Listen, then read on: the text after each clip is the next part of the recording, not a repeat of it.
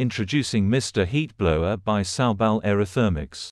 This is the motor, this is a centrifugal blower and this is a 2 kilowatt heater. These are two independent switches, one to switch on the blower and the other for the heater. After finishing the job, to ensure that the heater is switched off first, while the blower is operating, as this will ensure that the heat is completely dissipated through the outlet, without affecting the motor. Now let us demonstrate the temperature reading using a thermocouple. As soon as the heater is switched on, the temperature boosts up immediately. These heaters run with maximum efficiency. This system is the best replacement for the master flow heat blower.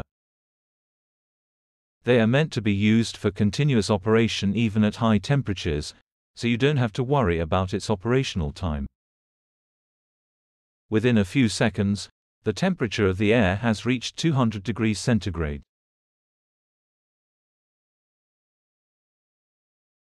The Mr. Heat Blower has been designed to operate at 450 degrees centigrade. It has a simple plug-and-play operation. The Mr. Heat Blower consists of a fractional horsepowered motor with a centrifugal blower and a 2 kilowatt heater. It produces temperatures up to 450 degrees centigrade with an air volume of 30 cubic feet per minute.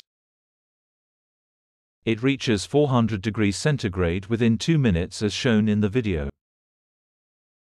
The system can be customized according to the requirement. A base plate is also provided at the bottom, in case of mounting.